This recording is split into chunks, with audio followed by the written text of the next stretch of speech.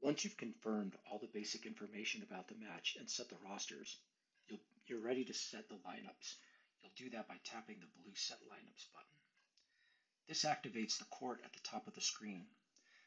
In order to select players, all I need to do is tap the position on the court that I want to put them in, and then tap the number of the player who will be in that position.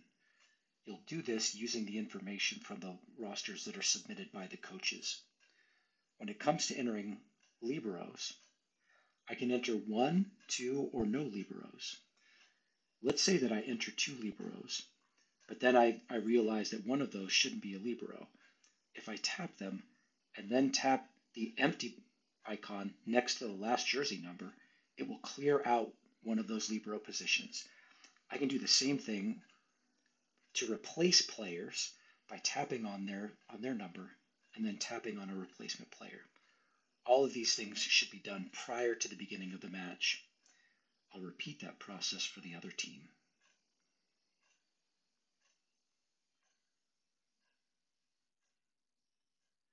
For this team, I'll select two liberos.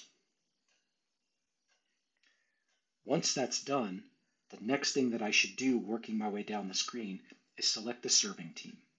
This would be based on the coin toss, and the referee should have reported this information to you. Let's say that the Spikers are the serving team. Let's say that the Bumpers then decided to choose to switch sides.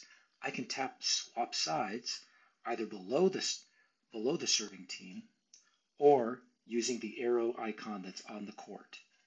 Either either one of those will switch which side of the court the teams appear on. Now it's time to select the floor captain for each team. Once that's done, I can confirm the current date and time in order to start the match. Once it's time to go, I'm going to tap the Start Match button. We're ready to go.